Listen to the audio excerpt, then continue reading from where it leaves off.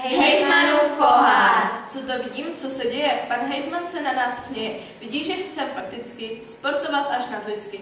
Proto pro nás připravil pohár, aby napravil naše unavená těla, by létala jako střela. Naše škola ve vsi Dříteň využila tuto přízeň, úkolu se zhostila, do sportu se pustila. Nyní běhají všichni žáci, i ti méně zdatní spolužáci.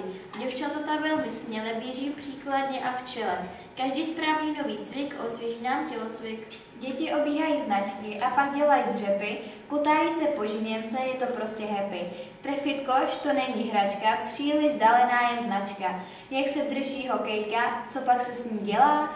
Děvčata to velmi rychle pochopila a míž do bránky snadno zavěsila.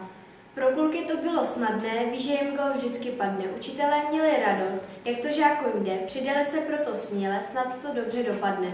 Sportovat je prostě skvělé a tak máme v zábavu. Proto dáme srdce celé hejtmanovu poháru.